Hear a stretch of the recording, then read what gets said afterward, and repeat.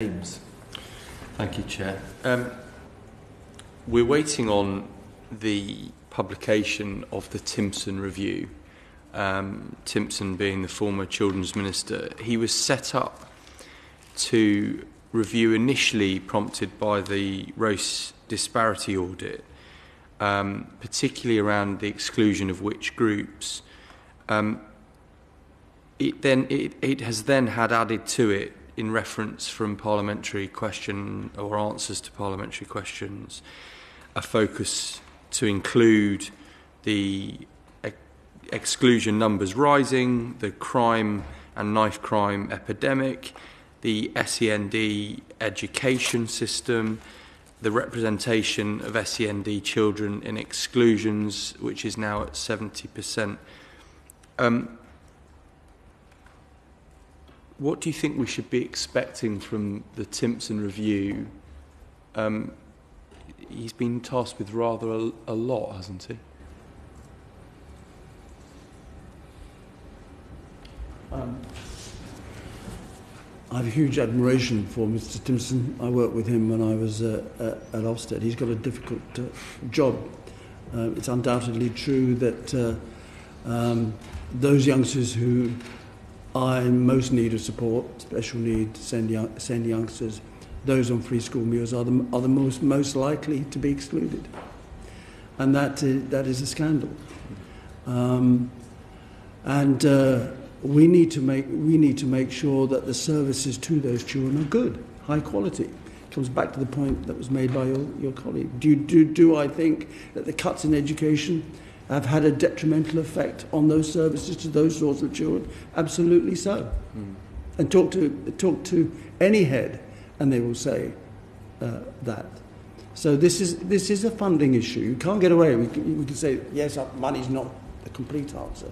But unless you have those services for those vulnerable children, mm. then they will cause problems in, in school. So is, is knife crime, uh, is the knife crime epidemic um, a response to a failure of SEND education in mainstream schools? I think it's complex. It's, that could be one of those things. But if you take London, I know London well because I was a teacher and a, and a head in London. London has the best schools in the country. If you measure, measure best by uh, progress measures and outcome measures and what Ofsted says, London has the best secondary schools in the country.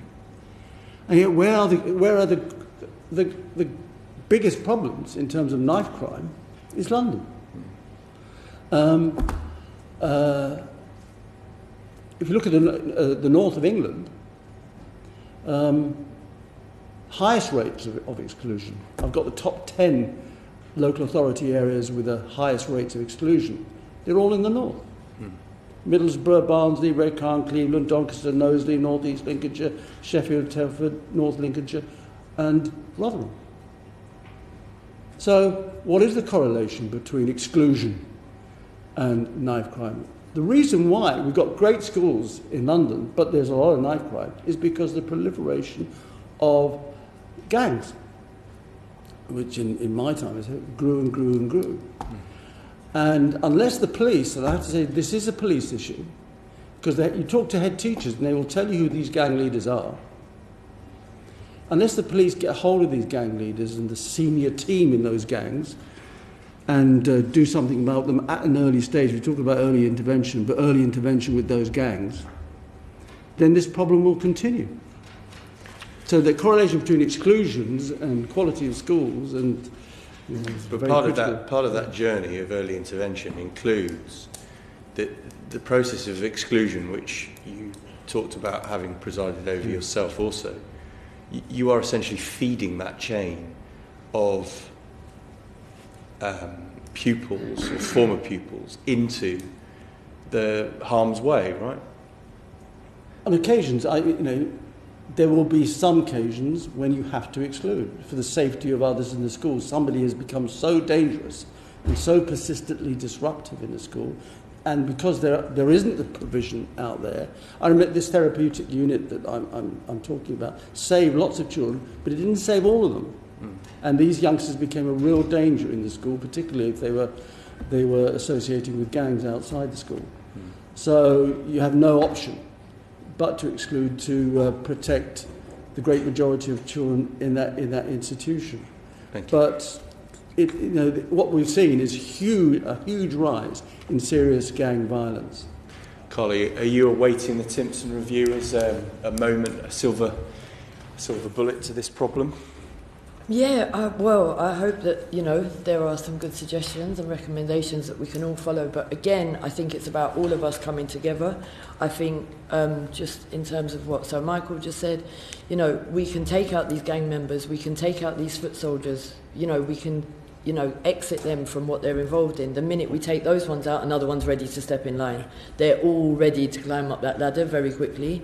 Um, I was part of the, um, the pilot project in Kent, the County Lines pilot project, which was an amazing experience, absolutely terrifying and daunting because I kind of thought that I'd seen and heard and witnessed everything in London, but the moment we arrived in Kent, I was like, wow, this is the next level. And a lot of that was down to the education system around our young people putting pupil referral units. When they were excluded from the pupil referral units, there was nowhere to put them, there was no funding for home tutoring. Suddenly, we had these boys running county lines. They were running shifts. They were making £200 a day, some of them. Some, some of them were making £1.80 a day. But everybody was confused. Professionals were confused. Nobody kind of knew which way to go, what to do with these young people. Um, and I think we need clarification. I think in London, I think you're right. I think we have, do have some of the best schools. I think we've got some amazing professionals all pulling together. I think we need to consider the rest of the country as well. And this is not just a London-based area uh, issue. This is spreading out far, far, far. Mm. Mark, would did you want to just respond to, respond to Sir Michael's Uh, this is a police matter. Yeah, so the, I have to say, I think the idea that if the police sorted out gangs, then all the problems that we're talking around about for young people, vulnerability, uh, being drawn into crime would, would go, I, I, I think is, um, I, I, I don't think, I don't think um, sort of meets the point that the gang culture Um, firstly, it's not a single coherent, you know, you've not got a gang and then not gang. You've got all the different degrees of, in, of, of young people being drawn into criminal activity in all sorts of ways, whether it's about county lines, whether it's about sexual exploitation, whether it's all those sort of things.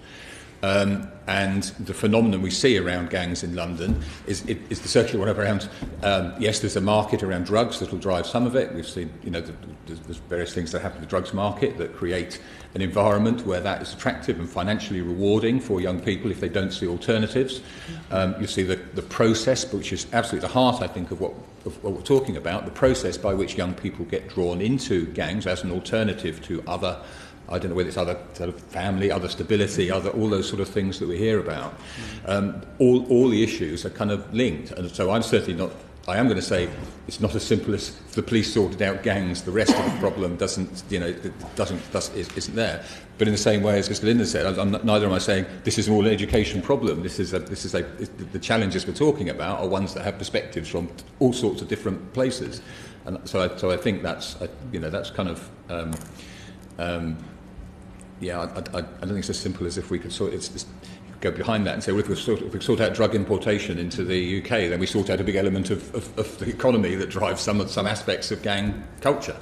Um, but we know that's a huge international problem that becomes you know, it's difficult. So I think, I think with, in terms of what we're talking about, it is the role all, all the different agencies, different organisations, different groups have in working together. That's not about saying it's over to you, you your responsibility. It's a bit like the answer to Samian's question about who is accountable. Everyone has to be accountable for their part in, in achieving something It's a whole Just system sort of um, on, um, on, on power and authority, um, a question about local authorities having enough power to monitor those um, kids that, that do get excluded. Um, do you, do you, is there a, a lack of power for local authorities to monitor kids that have been excluded or, uh, and, and which other agencies could do with more power in relation to this?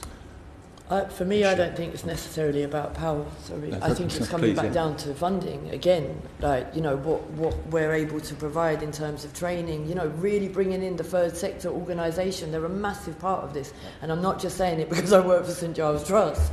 It's really really important. We see the work that third um, sector organisations. Mm. We see the work that they do. We see the bridges that they fill. You know, I explain to my young people that I am not, and I'm going to use the, you know, how I speak to them. I'm not a Fed. I'm not part of the gangs unit. I'm not probation. I'm not your. I'm not the church because we're from St Giles.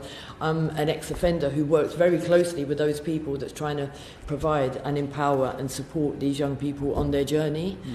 Um, and I do think it's important that we pull the third sector back in. Mm. And I think in terms of who is best placed to work with these young people, I think we should have almost one leading the way. We're all working together. We're all sharing information the whole time. But it might be that the social worker has the best relationship with that young person. It may be that probation, it may be that even a police officer. I work with a lot of Trident officers that have really good relationships with my clients because they've built that. Hmm. Because they have an understanding. They're not, you're a perpetrator, you're a perpetrator. We see you as a victim, we see you as being exploited. Now, they have to use their words quite carefully because these young people, they don't want to hear that they're being exploited or that they're victims, you know.